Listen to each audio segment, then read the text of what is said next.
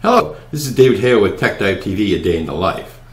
Um, I don't normally do news stories on this uh, program. However, a news story popped up yesterday that I think is very important for everyone to see. This has to do with E-ZPass. If you have an E-ZPass, you might get an email like this. Don't pay attention to it. Here's CBS News. Online scammers this morning are targeting more than 28 million drivers who use E-ZPass, the electronic tags that automatically pay your car's tolls. Phony emails claim to be from E-ZPass demanding money to settle an unpaid bill. One reads, You have not paid for driving on a toll road. This invoice is sent repeatedly. Please service your debt in the shortest possible time. The invoice can be downloaded here. Todd Marks is a senior project editor at Consumer Reports and says he nearly became a victim.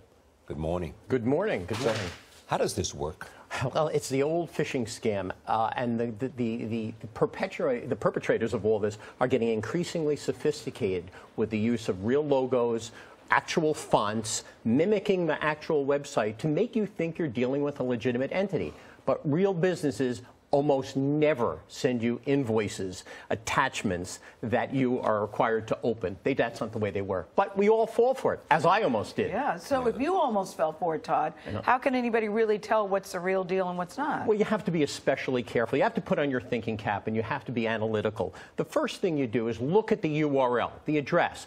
One of the great, one of the things that these scammers do is they incorporate elements of a legitimate toolbar uh, URL, easypassnewyork.com, but they'll add weird symbols and numbers. Add or hashtag 12579, that's a giveaway. Second thing, you can hover your cursor over the web address uh, uh, to make sure that it is legitimate because it'll pop up what it actually is. Think about how a company normally contacts you. E-ZPass doesn't send bills, warnings, or threats via, via email. What they do is they send bills through the U.S. Postal Service. So what you do if you if you're being threatened or being pressured like that, you go in, you type in the actual URL, easypassnewyork.com, then you contact their customer support and say, is this legitimate? Secondly, you also make sure that you just don't respond or ever open anything. And again, if a company like E-ZPass does contact you, and this goes for any big company,